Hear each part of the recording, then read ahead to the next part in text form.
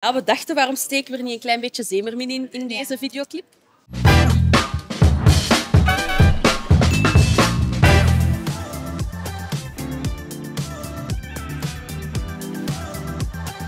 Dames, het is niet de eerste keer dat jullie een videoclip opnemen.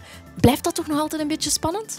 Ik vind dat toch nog altijd wel een beetje spannend. Vooral omdat ja, we weten dan nog niet exact hoe het er allemaal uit gaat zien. Dus je komt dan Ja. s ochtends aan en je ziet voor het eerst die set.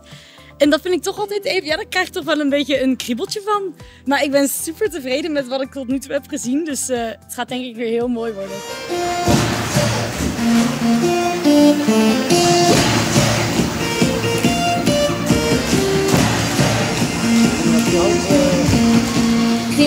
Pijltjes op. Videoopnames zijn altijd toch wel een beetje wachten. Worden jullie dan niet beu zo dat wachten? Ik vind het wachten wel meevallen. Want meestal als er iemand aan het opnemen is, dan wordt bij ons nog snel make-up een beetje gedaan of kleding. Of...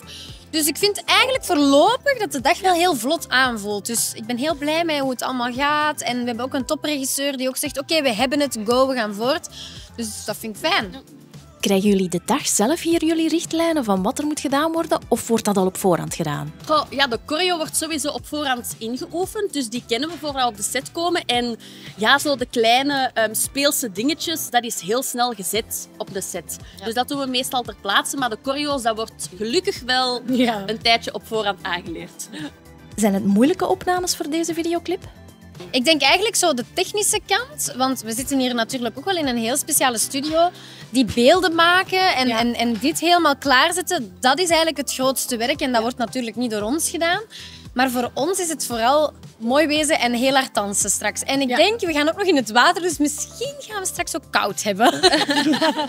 Het is toch wel een nummer met een zomerse vibe. Voelen jullie de zomer toch ook al een beetje? Ja, eigenlijk wel. Nog helemaal als die lampen op ons staan en we hebben die choreo een paar keer gedanst, dan staan we hier toch wel een beetje te zweten alsof we echt op vakantie zijn. Dus Ja. dat zit wel goed.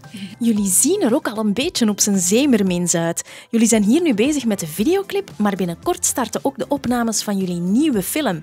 Kunnen jullie daar iets meer over vertellen? Goh, ja, het wordt weer een... We hebben het scenario al gelezen. En het wordt een hele grappige, vrolijke en muzikale film.